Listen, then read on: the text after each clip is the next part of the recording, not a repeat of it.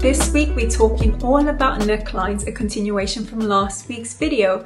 But before I get into today's video, make sure you definitely thumbs up and subscribe as well as hit that notification bell if you like content that's all about fashion, image and branding. I always like to say that we are all brands within ourselves and hopefully my content will help you understand exactly what that means so you can apply that whether that's in a personal or professional setting. By branding, I'm talking more about, you know, the visual elements in terms of how you come across your sense of style and your presentation, which is very much related to today's video where we're going to talk all about necklines. However, quick disclaimer in regards to necklines, I'm going to talk about, you know, maybe seven different types of necklines, but there's way more out there just as you know you guys can see right now on screen there's way more out there necklines are the ones that I'm going to talk about today. And also I'm going to relate them to specific body shapes. Again with body shapes this is just guidance. It's also you know take into consideration how you want to come across the kind of silhouette that you want to create for yourself right? Even if you're an hourglass you might like an inverted triangle. By inverted triangle I'm, I'm talking more around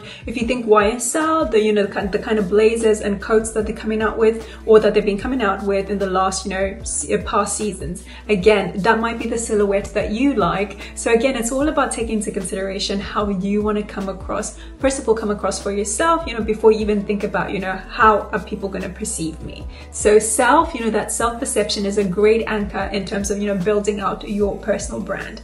As I said, guys, I'm going to stick to lucky number seven in terms, you know, seven different types of necklines that you guys can apply. And in no particular order, I'm going to start off with a V-neck.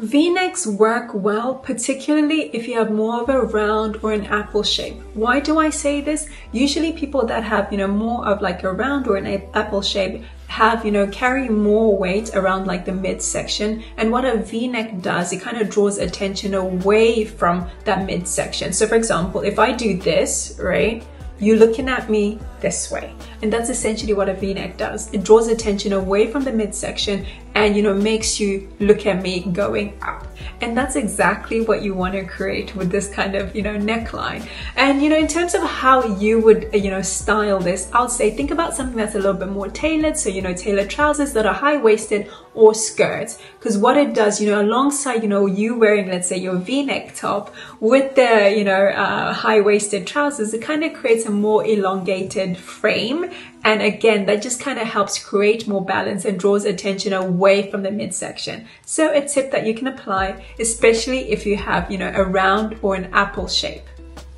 Up next is scoop necklines. I also love scoop necklines, even though, you know, when you look at my body shape it might not be ideal. However, you know, in terms of what body shape would usually work for this, I would say more of like a pear shape. So if you have more like a triangle shape, right, this, uh, this type of neckline would work well for you. Why do I say that? Because it elongates, you know, this part, right? So if you're big at the bottom, the idea again is to be able to create balance. So if, you know, if your hips are quite wide and you want to create balance with the upper body, you'd uh, look at a, a, scoop neckline because it kind of like makes this part wider and then it creates balance between the top and the bottom. So in terms of styling, right, when you think about, okay, how would I then go about styling this? I would say, you know, look for a top, you know, that is structured, but then that has that scoop and then, you know, pair, you know, consider pairing it with, you know, statement accessories. The idea is to be able to create the volume, sorry, not volume, but to be able to focus on, you know, here. So you might want to add like a chunky neck a necklace or something again, so that it draws attention away from the hips and more towards the top. So when people look at you, they look this way, not that way. Again, the idea is to be able to create balance. So if you're somebody that wants to draw attention away from your hips, think about, you know, wearing that scoop neckline and think about, you know, adding accessories so that the gaze becomes at the top half of your body as opposed to the bottom. Up next is, you know, an off-shoulder moment, kind of similar to what I'm wearing right now. And this is perfect for anyone that has more of an hourglass shape. Here's the thing with hourglass, it's usually quite balanced, but you know, when you have like an off-shoulder moment, what you're essentially doing, it kind of adds, you know, extra focus on the shoulder, right? So as you guys look, you'll be looking this way, right? This part, right? So it just kind of adds, you know, that extra focus around the shoulder. And it's very good, for example, if you don't want people to sort of like focus on certain parts, because then the focus will then start from here, right? It's just a few seconds in terms of the gaze, right? And then like people then look or, you know, uh, if somebody's looking at you, then it'll be like the rest of the body. But the idea is to be able to draw attention to this part um, of, of your body. And in terms of how you could style this, right, you could, you know, highlight your waist if you wanted to, you know, with something that's fitted and then, you know, an off shoulder top or a dress. I'll give you guys an example based upon the outfit that I'm wearing today in terms of, you know, just putting that extra focus around, you know, the, like the shoulder part. And it's also a great way to be able to accentuate your shoulders as well as, you know, your waist when you're thinking about, you know, wearing something that's fitted, but also kind of shows off your shoulders. Up next has to be a boat neckline. And this is great for somebody that has more of like a rectangle shape. And when you think about, you know, the shape rectangle, it's usually somebody that, you know, has equal shoulders, waist and hips. So the idea is to be able to create a bit more curves, right? Balance, but with curves, you know. So the boat neckline essentially does that for you because essentially what it does, right? It kind of gives the appearance of, you know, having more curves. I'll give you guys an example right now on screen so you can see see exactly what I mean in terms of, you know, just giving that illusion of having more curves at, you know, the upper part of your body. So in terms of like solutions from a styling perspective, so now that you guys have a better understanding in terms of, you know, giving that illusion of having more curves at the upper body, what you want to do is to be able to create balance. So how do you then, you know, accentuate the rest of the body? So think about, you know, something that kind of nips in at the waist or adding a belt to create more curves. So that's a way in terms of, you know, how you can style an outfit to be able to create more curves and balance as well. Up next is a halter neck, which is perfect for someone that has more of an inverted triangle of if this is the kind of silhouette that you're trying to create. Why do I say this? Is because, you know, usually when somebody has more of like an inverted triangle shape, they have like broader shoulders and, you know, narrow hips. So essentially with, you know, something that's a little bit more halter, it draws attention inwards, you know, towards like the center, and then it kind of reduces the attention here. So you're kind of looking at me from this specific angle. I'll, put an, an, example on screen right now so you guys can see exactly what I mean by that. So it kind of like de-emphasizes, you know, the shoulders and creates more proportions to the silhouette. Again, if you're trying to create that balance and you know move away from the default uh, inverted triangle, this will be a great way to be able to incorporate that. And in terms of you know how would you then go about styling? You know, styling with the idea of also creating balance.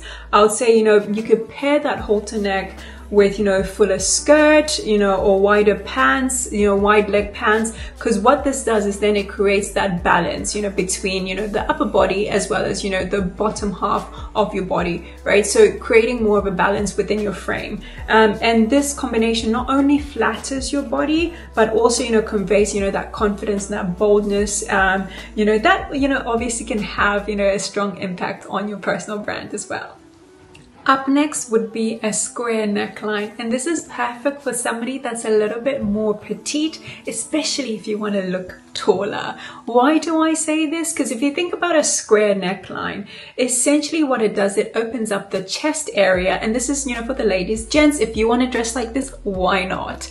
Uh, but, you know, the frames of men are slightly different. However, you can always apply these tips depending on how you want to come across. So what it does, as I was saying, right, it opens up the chest area and then it also makes the torso look longer and leaner, giving that illusion of, you know, you girl, you are tall. and then, you know, from a solution perspective in terms of how would you then go about styling this? I would say, you know, think about, you know, combining that square neckline with, you know, something that's, you know, high-waisted trousers or skirts to elongate the body, again, to give that illusion that you're tall and to also create balance, you know, in terms of, you know, um, how your torso would then look as well as, you know, your overall body shape. Again, your body shape might be inverted triangle, it might be an hourglass, even as petite, but, you know, it just kind of gives you, you know, the illusion that you are tall. Seeing though that we're in autumn, I thought to end of this video, why don't I talk about, you know, turtlenecks. Turtlenecks work perfectly well, especially great if you're somebody that has more of like a leaner, longer figure, right? If your figure is quite long. Because what this does, you know, when you think about turtlenecks is, you know, instead of them, you know, keeping you warm, right? They also give that illusion of, you know, balance because they balance out your proportion, right? Especially if you have like a longer neck Again, so thinking about all of that in terms of the kind of silhouette that you want to create. So in terms of, you know, a solution for styling, how would you go about styling a turtleneck? You can obviously wear it the way that you want, but if you're somebody that has more of like a leaner, longer figure and you're looking for ideas in terms of how to style it, I would say, you know, think about, you know, pairing, you know, that turtleneck with um, structured outerwear like a blazer or a jacket to create more of that sophisticated look, which then adds, you know, depth to your personal brand. So guys, those were the seven necklines I wanted to share with you today. Let me know down below which one you know you're looking forward to trying or which one you already have in your wardrobe. Again guys, you know, as always, make sure you definitely thumbs up and subscribe if you like content that's all about fashion and branding and you know that gives you tips in terms of how you can elevate your personal brand visually. Also, I wanted to end off with outfit of the day, but I wanted to style this specific dress, you know, in different ways that you guys can see how I play around with different necklines. I do have a video on this where I'm styling this dress in white because I have the exact same dress in a different color, white that is. But you know, just for a little bit of fun at the end of the video, these are all the different ways that I've created different necklines with this particular dress. Let me know down below which one was your favorite. Again guys, thank you so much for tuning in. Until next week, bye for now.